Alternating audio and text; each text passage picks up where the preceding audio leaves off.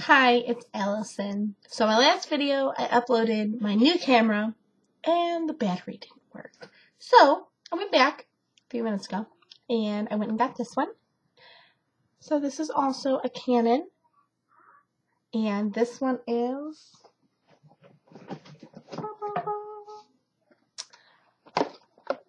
PowerShot SX510HS. So the last one was 500 and the battery is charging right now. So I'll get back with another video.